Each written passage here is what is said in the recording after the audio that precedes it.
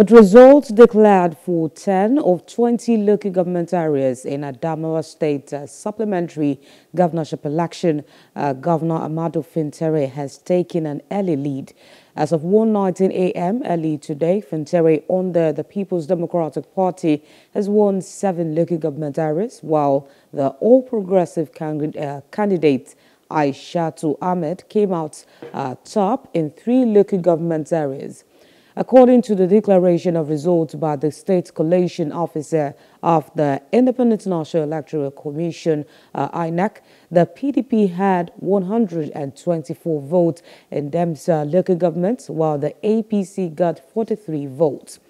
The ruling party also won in Lamurde, taking uh, 580 votes next to the APC's 285.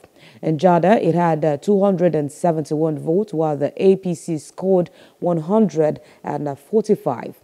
Likewise, the party won in Gaya local government area, taking uh, uh, scores of uh, 309 votes as opposed to the APC's 176. Collation was adjourned to 11 a.m. this morning. Hello, hope you enjoyed the news. Please do subscribe to our YouTube channel and don't forget to hit the notification button so you get notified about fresh news updates.